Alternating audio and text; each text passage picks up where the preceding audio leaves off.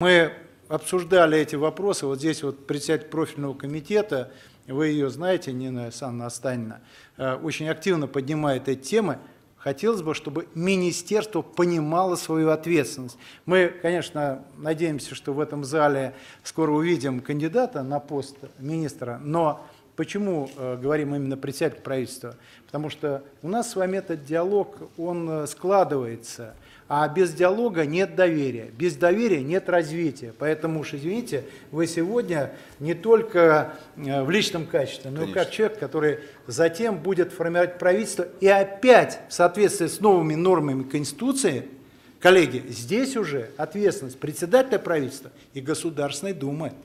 Поэтому мы должны с вами вот так вот заинтересованно строить разговор. Не случайно говорю, что нам надо здесь быть партнерами, а это значит ответственность сторон.